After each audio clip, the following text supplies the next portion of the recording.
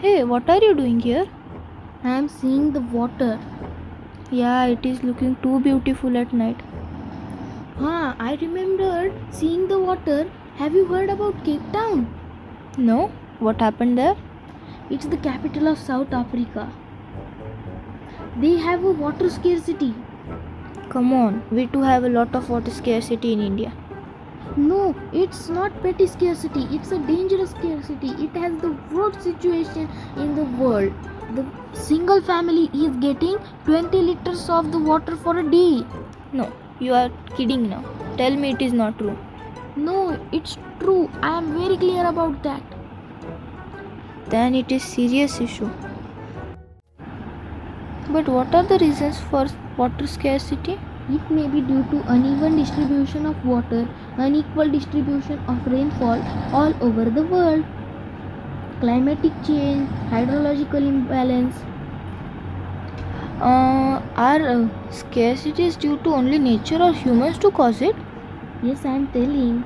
Demand of water increased with increases of population. It is not only required for human consumption but also for agriculture, industries, and domestic purposes.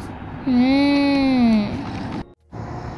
So, are there any impact of water scarcity on nature? Yes, they are.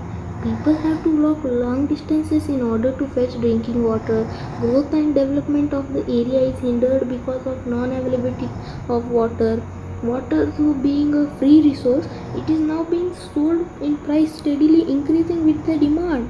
People have to drink impure water that could lead to many waterborne diseases.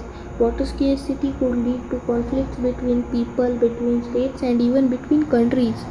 Oh, it's not only dangerous for nature but also for the humankind. As every problem has a solution, so there must be some ways to avoid water scarcity. Are there any? Yes, they are. Fill sink water when washing dishes instead of letting water run. Use a bucket to catch the water while waiting for shower to warm up. Don't let the water run when brushing teeth. Install water saving fixtures and appliances. Flush toilets only when necessary. Thank you, buddy. From now, I will never waste water and I will use it properly. So let's take a pledge. We will never waste water.